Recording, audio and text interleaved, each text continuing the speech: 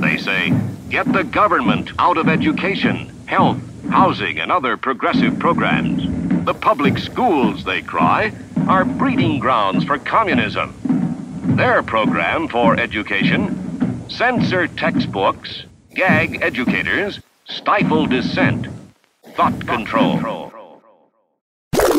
They say, get the government out of education, health, housing, and other progressive programs. The public schools, they cry, are breeding grounds for communism.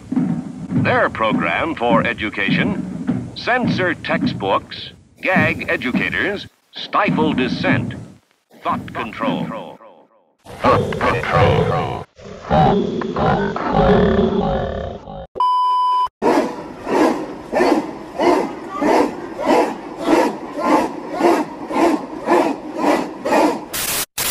The extremists teach hate and distrust of the government and attack Washington as if it were a foreign power, an enemy to be defeated, rather than an instrument for the welfare of all of us. If successful register and vote campaigns were necessary in the past, they are indispensable today.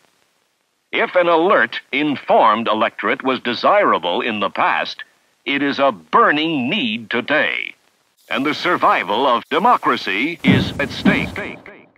The survival of democracy. The survival of demo- the survival of democracy is at stake.